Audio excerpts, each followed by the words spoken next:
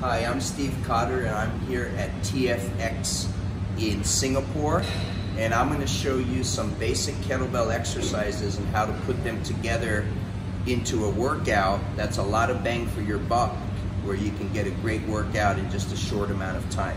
So in this workout we're going to be using the swing, the squat, and the press and I'm going to show you how to put them together in a sequence. So let's go.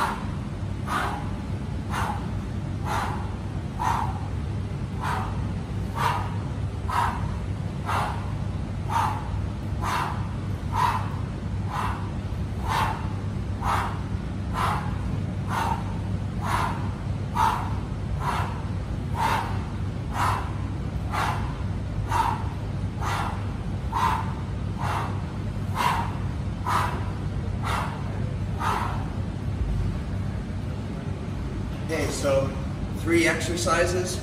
Gonna get the heart rate going really fast and get a lot of work in a short amount of time.